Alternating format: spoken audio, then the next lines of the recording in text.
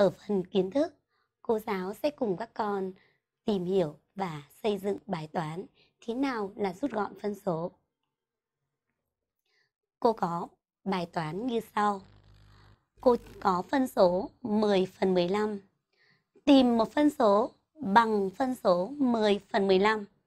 Nhưng mà có tử số và mẫu số bé hơn phân số 10 phần 15.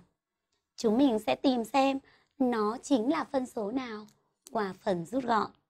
Các con nhìn nhá, cô làm như sau. Ta thấy tử số của cô là 10, mẫu số của cô là 15. Cô có 10 và 15 cùng chia hết cho 5. Như vậy, cô sẽ lấy cả tử số và mẫu số cùng chia cho 5.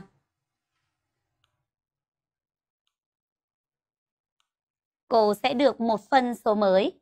Phân số mới của cô là phân số 2 phần 3 và phân số này sẽ bằng phân số ban đầu. Chính là kiến thức của buổi trước mà cô đã từng giới thiệu với các con.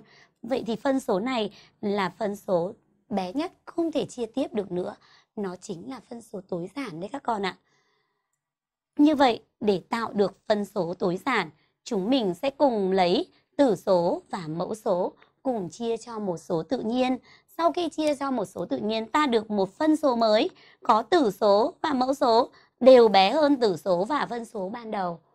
Phân số, tử số và mẫu số của phân số này không thể chia tiếp cho số nào lớn hơn một nữa. Vì vậy, nó sẽ là phân số tối giản.